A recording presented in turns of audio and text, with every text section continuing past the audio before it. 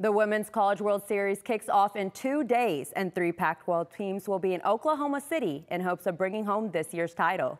Cronkite News reporter Madison Thomas was at the Super Regionals where the powerhouses have advanced, and Arizona is putting on a super show. Arizona hasn't lost a game yet. They beat Mississippi State to advance to the Women's College World Series. They are the only unseeded team in the tournament to go undefeated and survive to the final eight.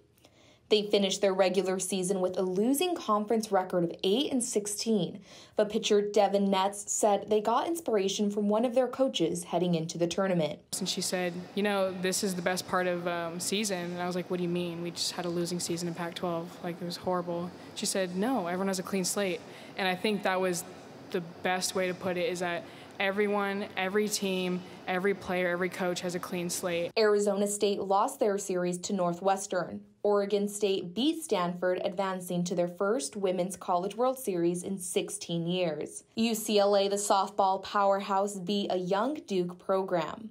While Duke was unable to win a game in this series, the two teams went toe to toe for the majority of both games.